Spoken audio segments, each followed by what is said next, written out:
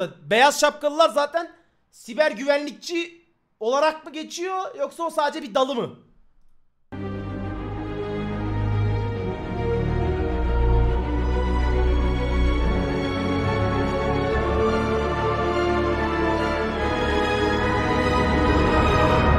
Bugüne kadar birçok dergi kapağı inceledik. Bunlar hakkında analizlerde bulunduk. Bunlar genellikle bir mesaj içeren dergi kapaklarıydı. İşte bugün bunlardan iki tanesini birden inceleyeceğiz. Öyleyse Time dergisinin kapağıyla başlayalım.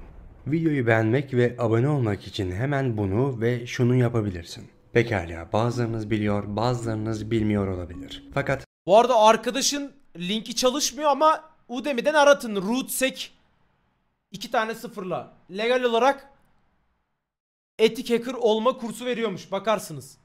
Time dergisinin uzun süre önce Son Çağrı adıyla çıkardığı kapak, Kraliçe Elizabeth'in ölümü sonrası herkes tarafından, özellikle komplo teorisyenleri tarafından konuşulmaya başlandı. Ben de bunun doğruluğu konusunda dergi kapağı hakkında biraz araştırma yapmaya başladım.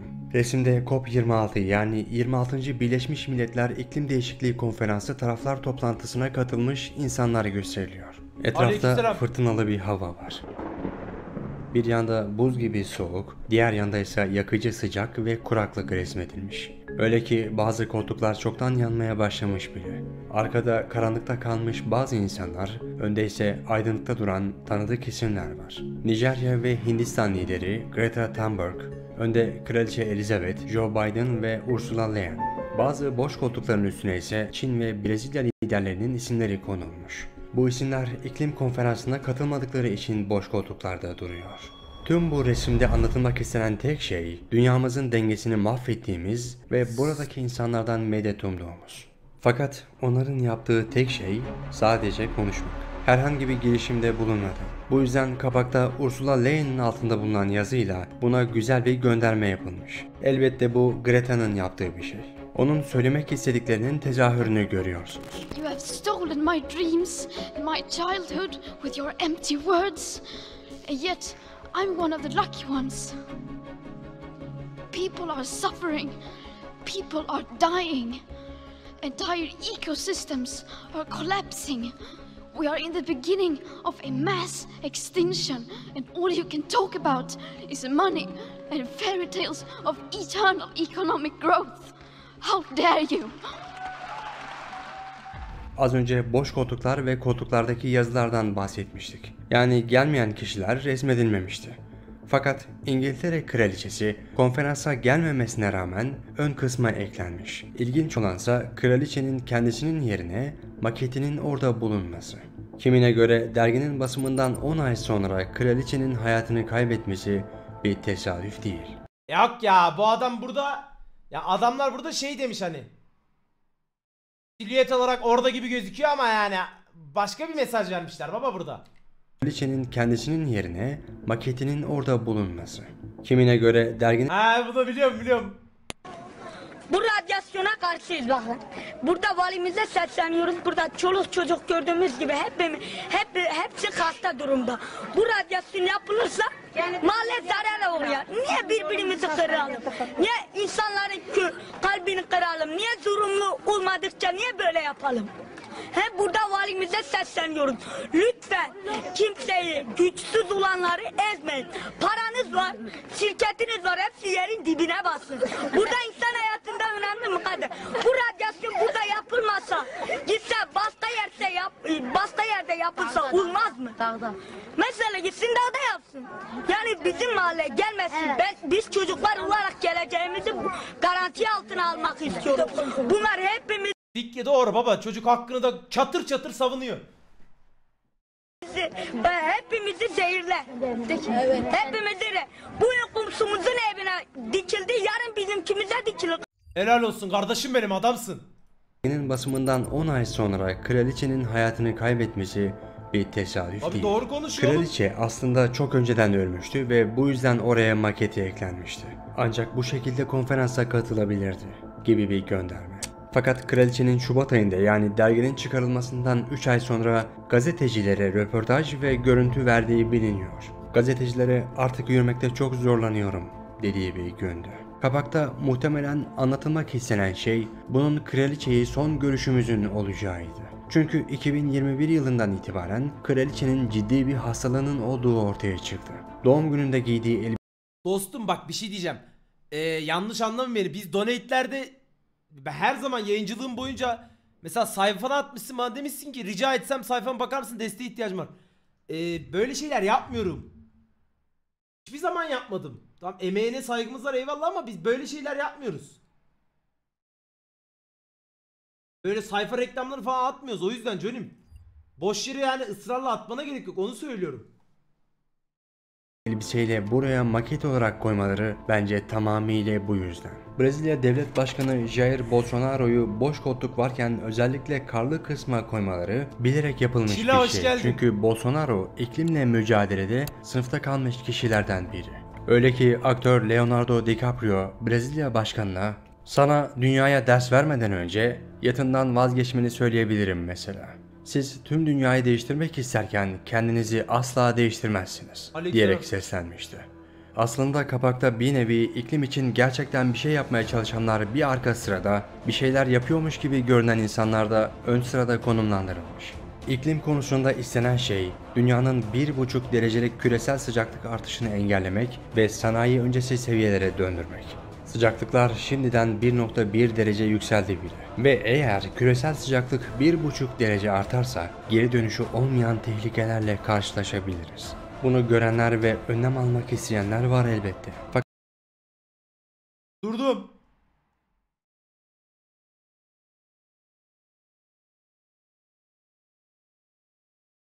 Durdum geçince devam edelim. Bitti dersiniz. Video çok bölündü be. Şuradan devam ediyorum. Bir odaklanalım baba. Devam. öncesi seviyelere döndürmek.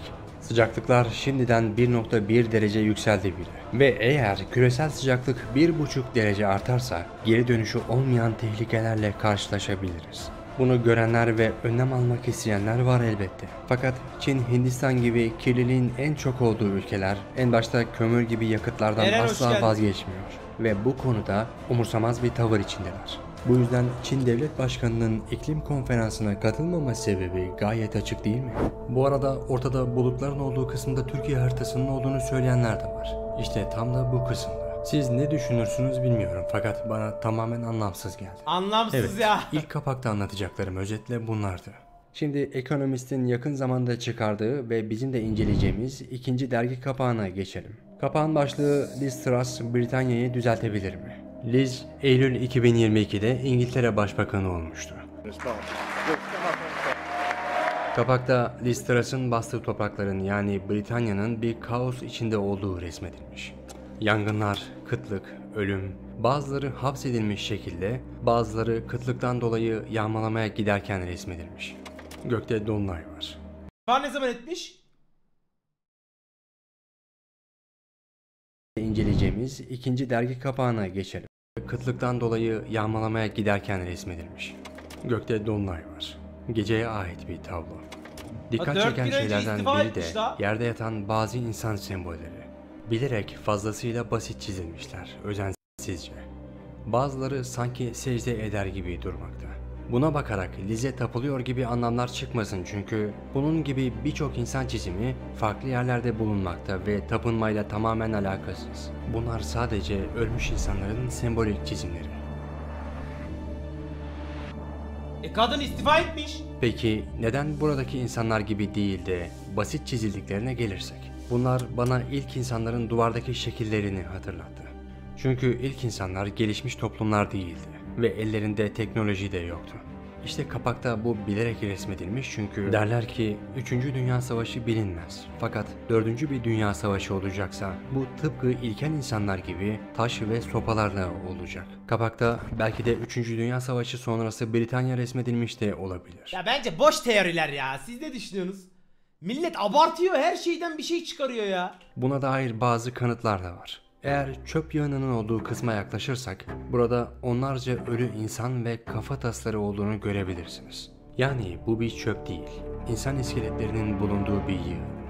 Elbette bu hastanelerin ortaya çıkardığı bir etki Hayır arkadaşlar Nigma ile alakalı bir şey demiyorum. Nigma zaten bunu inceliyor da bence arkadaki insanların fikirlerini söylüyor zaten. Kendi fikirlerini de söylüyor. O inceliyor ama bence insanlar abartıyor bunu yani. de olabilir. Britanya Ulusal Sağlık Hizmetleri'nin bazı bölümleri kargaşa içinde günde yaklaşık 1000 hasta kaza ve acil servislerde 12 saatten fazla bekletiliyor. Çoğu insan bu ve benzeri sebeplerden dolayı hayatını kaybetmekte. Hastanenin adının Aziz Thomas olduğunu görüyoruz. Üzerindeki kırmızı lekeler buranın çoktan terk edildiğini ve hastanenin çürümeye yüz tuttuğunu gösteriyor. Hastanenin köşesi bir patlama sonucu yanmaya başlamış. Dumanlar yükseliyor. Aşağı kısımda patlama sonucu hastaneye ait bazı parçaların düştüğü resmedilmiş. Sanki gerçekten de savaş zamanı veya savaş sonrasına ait bir zaman gibi. Ya büyük bir kargaşa yani. Dışarıda boş hasta yataklarını görüyoruz. Yine etrafta onlarca insan. Hepsi hayatlarını kaybetmiş. Hastanenin çürümeye yüz tutması, etrafa saçılmış yataklar, insan iskeletlerinden oluşan yığınlar ve bombalanmaya ait Boş değil bilmeden yorum yapmayın. Bu işle bayağı uğraştım. Bu derginin dediği her şey çıkıyor. Bana abartı geliyor yani. Dedikleri şeyler çıkabilir ama bazıları abartı geliyor canım ya. Dünyayı Amerika kontrol ediyor. Şu anki yaptığın kuruluş bile onlara evet biliyorum. Yani bu yayın yaptığım kuruluşun Amerika'ya ait olduğunu biliyorum. Onlara bağlı olduğunu yani. Ama yani bununla ne alakası var? Aslında tüm bunlar az önce de bahsettiğim gibi uzun zaman sonrasını işaret ediyor. Sanki 3. Dünya Savaşı sonrasını. Yine elektrik direklerinin yıkılması ve doğalgaz hattındaki alevler gösterilmiş. Britanya büyük ölçüde gaza daha bağımlı bir yer. Bu onlar için önümüzdeki kış büyük bir sorun olacak gibi görünmekte. One thing is very clear. The European Union must get rid of the dependency of Russian oil, gas and coal.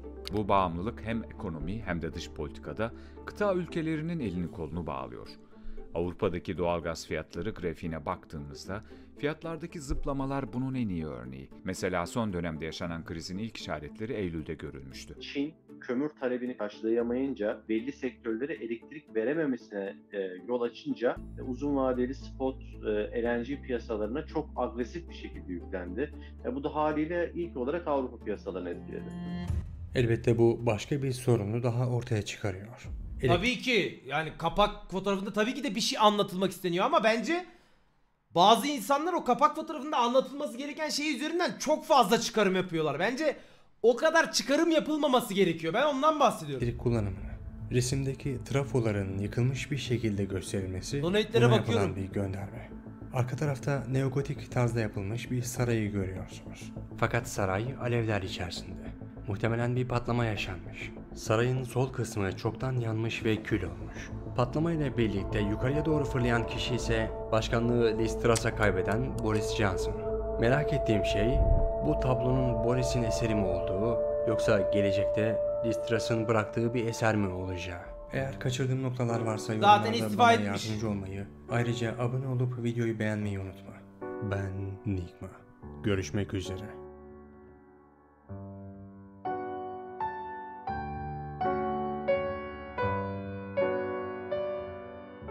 Yani orada benim boş demem biraz yanlış anlaşılmış olabilir ama demek istediğimi anladınız az önce açıkladım işte.